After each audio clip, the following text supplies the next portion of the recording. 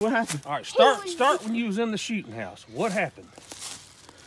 In the shooting house, we sat down freaking early. He come about 10 yards, I freaking smoked him.